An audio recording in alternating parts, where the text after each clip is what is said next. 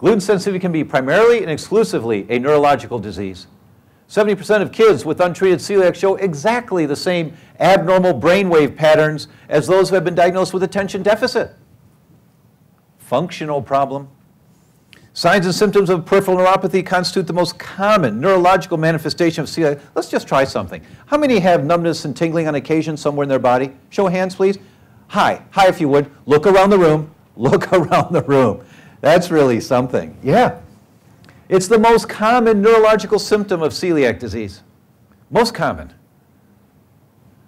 Among patients with small fiber neuropathy, it's been estimated that it's idiopathic in 90%, meaning they can't figure out why they've got it. When an EMG is normal, they don't know what you've got. It's, well, Mrs. Patient, it's idiopathic.